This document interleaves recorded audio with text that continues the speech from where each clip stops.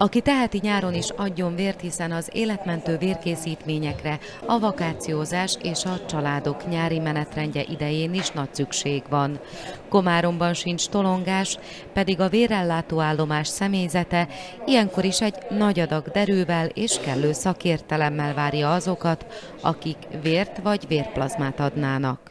Ez a második Tavaly voltam először, kolléganőmmel jöttem el, ő már régóta jár vért adni, és akkor mondta, hogy hát menjünk el együtt, én meg beleegyeztem, mindig is érdekelt a téma, csak nem tudom miért, de nem, nem jöttem el előtte. Segíteni mindig jó érzés, úgyhogy, úgyhogy amúgy is szeretek segíteni az embereknek, és hát örülök neki, hogy jók a tesztek is, és tényleg le is adhatom a vért.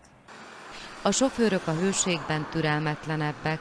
A statisztikák szerint a vakáció hónapjaiban történik a legtöbb baleset. A műtétek is zajlanak. Nem csak vérre, vérplazmára is szükség van. Inséges időket élnek meg a vérellátó központok országszerte. Nyár az általában minden vérellátó központban problémás, nem csak Szlovákiában, ez világszerte. Az emberek ugyanis olyankor mennek szabadságra és ebből kifolyólag utaznak, nincsenek otthon, bizonyos betegségek miatt van egy latenciaidő, ami után vért tudnak adni a hazatérés után, ebből kifolyólag a nyári hónapok mindig problémásak. Az egyetemisták hazamennek, a nagyvárosok is kiürülnek ilyen szempontból, mindig a nagyvérellátóknál ez komoly gondot okoz. A Komáromi Agel kórházban újdonság, hogy már vérplazmát is lehet adni. Pontosabban erre eddig is nyílt lehetőség, csak a feltételek váltak lényegesen korszerűbbekké. Mi eddig is készítettünk plazmakészítményeket, de azt a teljes vérből készítettük centrifugálással a, a véradótól, az egyegység teljes vérből készítünk vörösvértest koncentrátumot, illetve szükség szerint vérlemezke koncentrátumot és vérplazmát.